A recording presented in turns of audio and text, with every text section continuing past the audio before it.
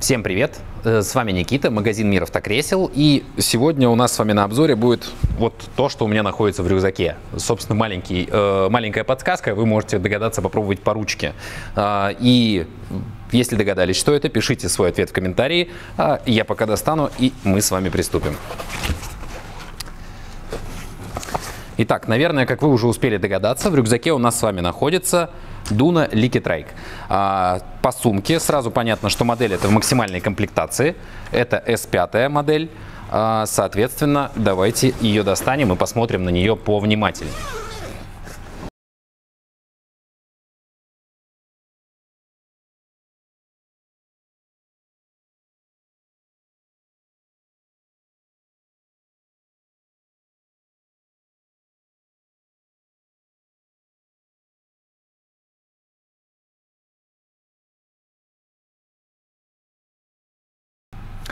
Итак, готово. Велосипед мы извлекли из транспортировочной сумки. Кстати, это была она. Э, как вы успели заметить, штука очень удобная. Можно легко сложить велосипед, убрать туда, и даже место для ручки есть, куда можно ее подвесить, потому что в предыдущих версиях ручку куда-то надо было пристраивать. А, собственно, чем же отличается эта модель от предыдущих э, моделей S1 и S3, которые мы с вами рассмотрели? Ну, по большому счету, это тот же самый велосипед Duna, но в улучшенной комплектации, скажем так. А, есть некоторые отличия от э, S1, ну, и тем более от S3 э, модели. Соответственно, в чем они будут заключаться? У нас с вами все то же самое осталось, что было и у S3. Э, что же добавилось? Э, изменилась немножко сумка, э, которая сзади висит. У S3 сумка была на затяжечках, если помните таких. Здесь удобная молния.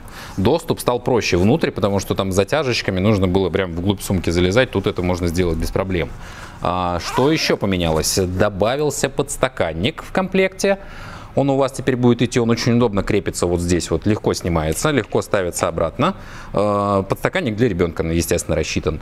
И э, очень классная штука такая, э, ручки у, этого, у этой модификации выполнены из дерева. Они деревянные, они очень мягкие, приятные на ощупь, хорошо обработанные. Ну, прям супер смотрятся и тактильно очень приятные. Собственно, что еще здесь поменялось? Что еще добавили? Ну, по большому счету, с S3 Основные отличия это подстаканник, ручки, замок на сумке и сумка для перевозки. Все остальное то же самое. У нас с вами тот же самый капор остался, который можно легко снять. Вот, капор легко снимается.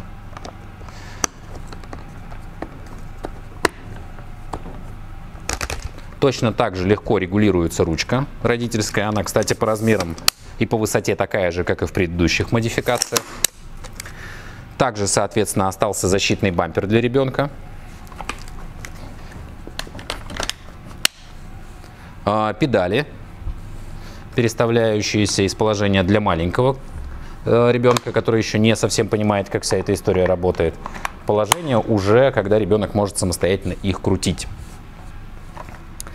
И давайте пробежимся с вами по трансформации, как вся эта история трансформируется. То есть вот сейчас э, я переставил педали э, в положение, соответственно, когда ребенок уже может ставить ноги на педали, когда он уже до этого места дотягивается. Но видите, я их сейчас прокручиваю, велосипед на месте остается. Э, то есть это все сделано для того, чтобы ребенок как бы э, была такая иллюзия, что он управляет велосипедом, но при этом процесс контролируете вы э, с помощью ручки, собственно, вот. Колесо, с колесом управляете вы по-прежнему.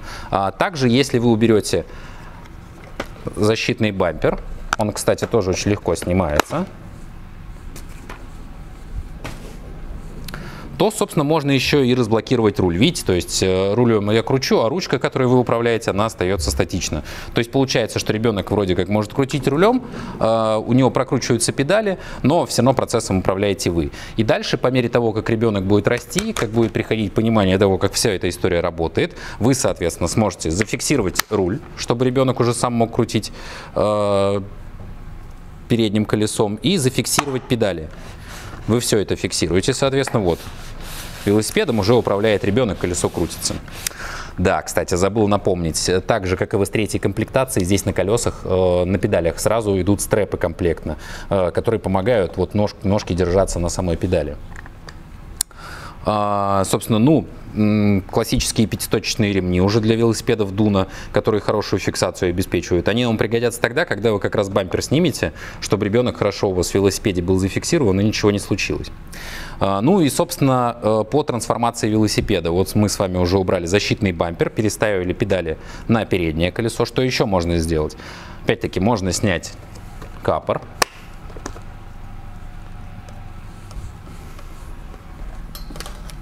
И можно вот эту спинку вместе с ремешками также снять и установить сюда бортик сзади. Это точно так же делается, как мы с вами посмотрели э, в предыдущих моделях S1 и S3. Вся та же самая история. То есть вам нужно вооружиться отверткой. Здесь откручиваются два болта. Сейчас я вам покажу, где они. Вот, собственно, нижние вот эти. Вот вы их откручиваете.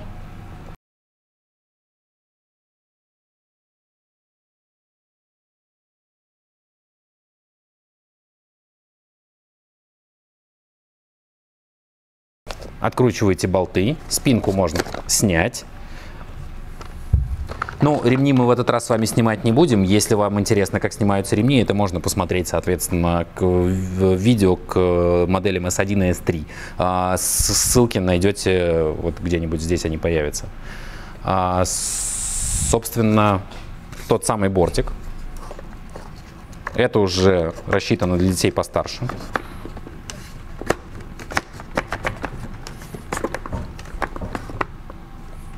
Устанавливаете его, фиксируете, соответственно, на два болта, и у вас получается... А, самое главное мы с вами забыли.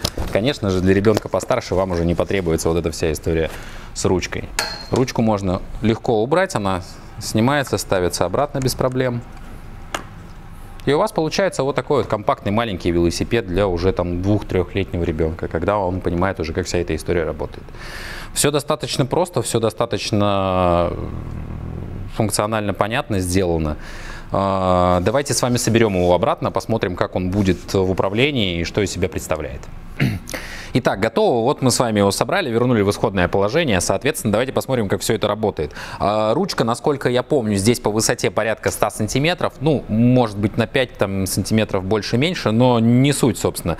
Удобно будет и высоким родителям. А, легко управляется. Напомню, что по весу это всего 6,1 килограмма. Он очень легкий, а, компактно складывающийся.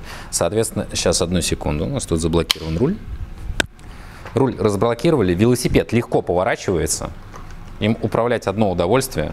Есть тормоз для блокировки. Все, вот, собственно, велосипед не едет.